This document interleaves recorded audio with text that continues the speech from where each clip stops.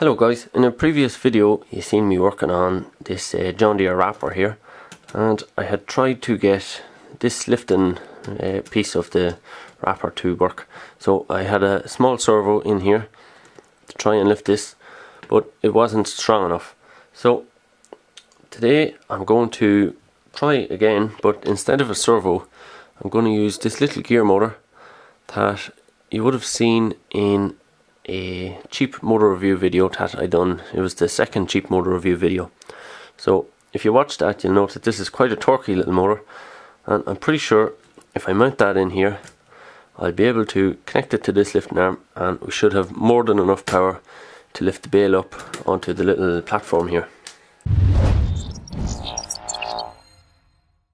So to mount the motor I made a few little 3D printed pieces here so this little rectangular piece here obviously has a hole for the motor to sit in like that. And that's gonna mount under the model like this. And I'm just gonna have to drill a few holes through the body and into the plastic here. And then I have some self-tapping screws that I can just uh, screw the this plastic piece tight onto the body here I think that will be quite a compact uh, little solution to the problem. I know the motor overhangs out here quite a bit, but it's not too bad. I mean, that section, it's not like it's gonna hit anything. I mean, there's the there's the widest part of the model, and this is quite a narrow model for by most of the trailers, so it's not gonna hit anything uh, on a diorama, for example. It should be fairly fairly well hidden in there. Should be safe enough. To connect the motor to the little lifting arm, I had to make another little uh, connecting rod piece here, and that just there's a like a D shaft on this motor. So this piece, I uh, designed a little D shaft or a little D slot, I guess you'd call it, into the into the little connecting rod so that goes something like that on the model there. Then when it's mounted in place, it should just connect to the to the existing arm and just move it up and down.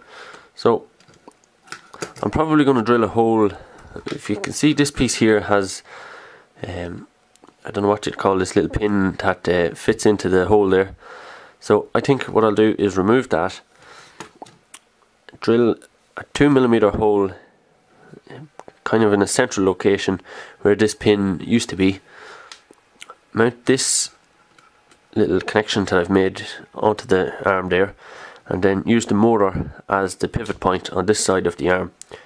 That should uh, prevent me having any problems with alignment on this side. So the first thing to do is line up the motor and drill a few holes to mount this uh, plastic piece these are only really prototype pieces, so they mightn't work, and as well as that, I can improve them if I need to. Uh, I just reprint the piece. It's not it's not too difficult.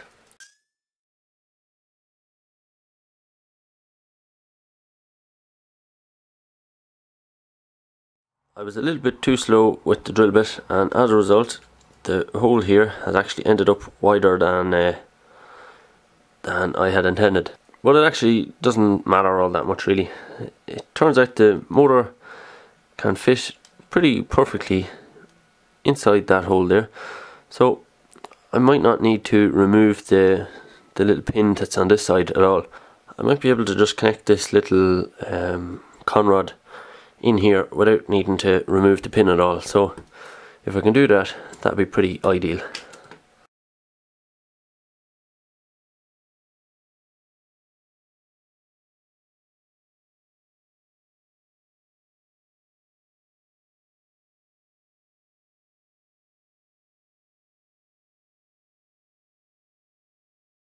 I have the motor screwed on now and screwed onto the lifting arm. So that is basically how I pictured this working out. Which is pretty good. The last thing now is just to test that it can actually lift a bale onto the onto the wrapper. Okay I have the power supply set up to 2 volts so hopefully we'll be able to record this without me blocking the camera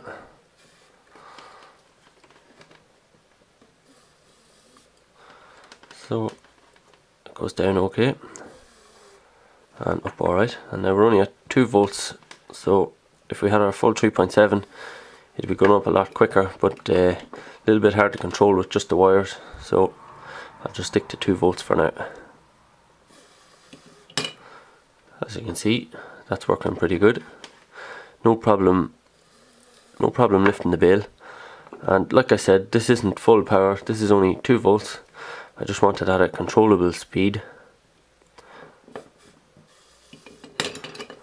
I think the bale fell forward there because the hitch is not on a tractor so the trailer's leaning a bit forward. I'll just grab a tractor and do it again to get an idea of what way it'll move with the trailer at the right angle. So here it is behind the Ford 7810. Should be able to lift it up now no problem.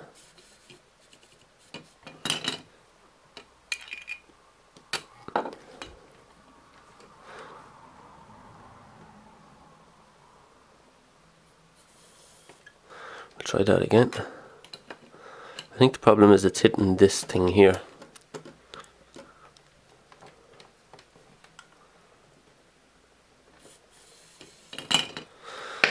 Yeah, when it rolls on, it's rolling on and hitting this guy here, so it can't uh, it can't get settled in where it's supposed to be.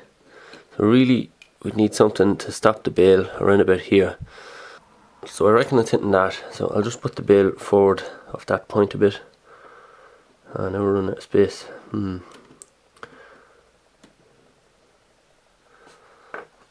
Let's see now.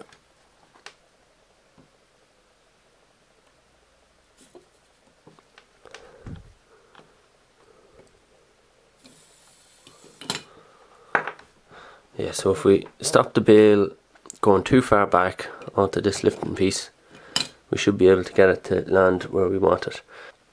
But that's a problem for another day. So we've successfully got this little motor to lift the bales up, which is uh, which is all we're really hoping to get to today.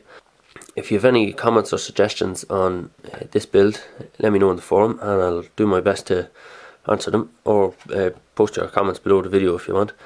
And if you like the video, uh, make sure and hit the thumbs up button, hit the like button, and uh, share the video if you want. And uh, that's always good to help uh, grow the channel.